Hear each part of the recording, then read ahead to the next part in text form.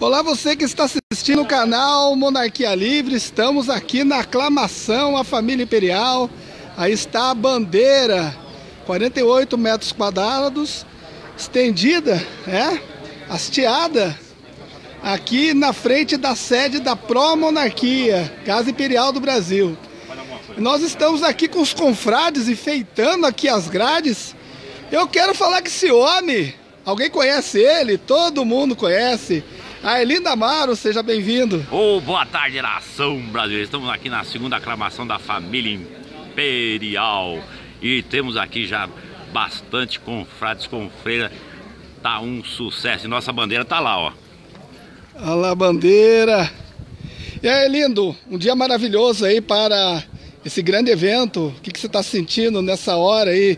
É, momentos antes de começar a aclamação. Não, é sempre uma emoção, né? E aí depois que a gente abre a nossa bandeira, né, a gente fica todo arrepiado, né? Realmente é uma emoção muito grande e o movimento cada dia está mais fortalecido, né?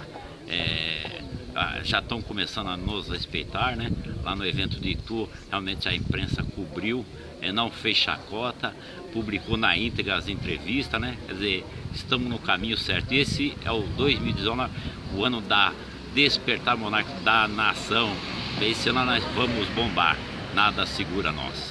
É isso aí, estamos aqui, a bandeira tremulando, maravilha, um vento gostoso, que o pessoal chegando. Eu tenho aqui uma conhecida, depois eu vou entrevistar ela. Nós vamos dando uma panorâmica aqui. Via grade aí, ó, aí, ó, pessoal.